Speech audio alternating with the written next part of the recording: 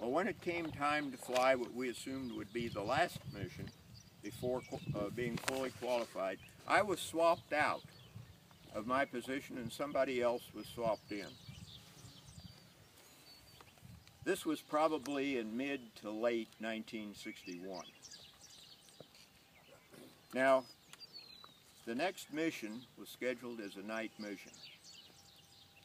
And as the aircraft took off, it barely cleared the runway and crashed on the end of the runway. It was nothing but a big fireball, and of course it was night, so it lit up the sky.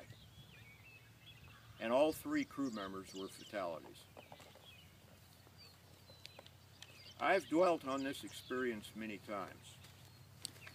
I flew with this crew four or five times, as I mentioned a minute ago, with the exception of the person that was swapped in in my place. It's not easy to consider whichever way this would have gone. If I would have been there, or if it as reality was, I wasn't there. But what, let me state one thing emphatically and irrevocably. I am thankful to God for whatever the for what that outcome was. My heavenly Father, I'm thankful to him for that. He spared my life. I could have just as well and should have probably been there, but wasn't. In the passing years, I've tried to live consistently, believing that He has some specific plan for my life. And each one of us here as an individual can have that assurance that there is a specific plan for your life. You have special talents, you have special things that you can do, special things you can be. And only you can influence some people. So there is more than just living and passing off the scene like an animal. The human being is special in God's sight. Let us remember this day.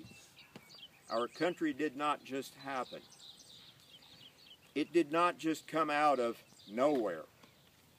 We know from studying history and from our own experience that the cost to start this nation and preserve her freedom has been high. Hundreds of thousands have been lost have lost their lives in very in numerous hostilities. In the Civil War alone, there were several hundred thousand, if you count both sides. Let us take it not lightly. Those of you who have children in your home and in school today, instill in instill patriotism to them.